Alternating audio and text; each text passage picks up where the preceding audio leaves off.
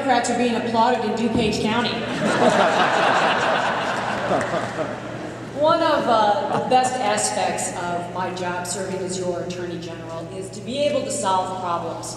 And unfortunately, in this miserable economy, the people of the state of Illinois have faced more than their fair share of problems. Big problems and small problems. As your Attorney General, I am proud that I've had an opportunity to go after some of the mortgage giants in our country who, uh, whose lousy loans really crashed our economy. But at the same time, we also deal with smaller problems, making sure that seniors don't have unauthorized charges put on their phone bills. And so, when uh, a number of months ago I was in Warrenville talking to a group of labor leaders, and they explained to me that the plan for Navistar to expand and to move its world headquarters here to Lisle had stalled, I looked up and I said, this is something that not only can we get involved in, can we do, but we must do for the state of Illinois and the economy of our state. So, Later that day, I think it was partly that evening, I had the opportunity to meet with some of the individuals from Navistar and those people representing them.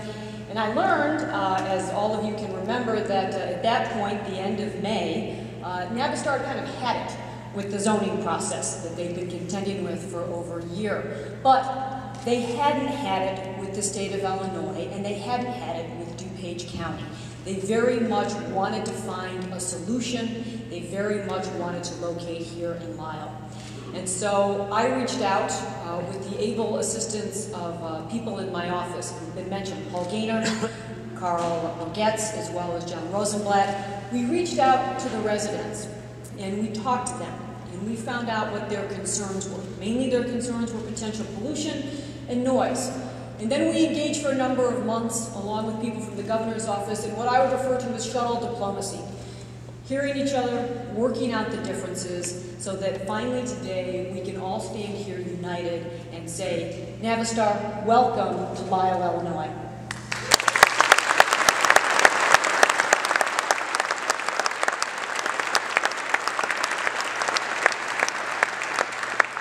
I want to thank Dan, I want to thank Don, I want to thank the people of Navistar for their commitment. Uh, this was a long and at times very difficult process. But I also want to say thank you to the residents, uh, because when we engaged them, uh, they weren't against having Navistar here.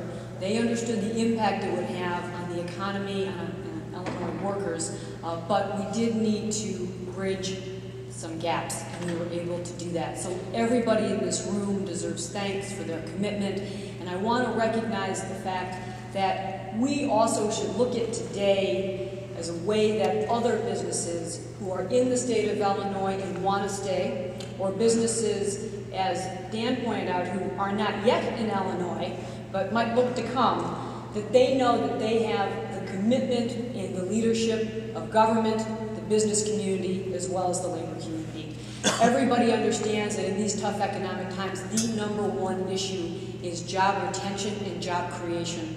And with Navistar now safe and secure here in Lisle, I think uh, we should all applaud and hope that we see more successes like this in the coming weeks and months. Thank you very much.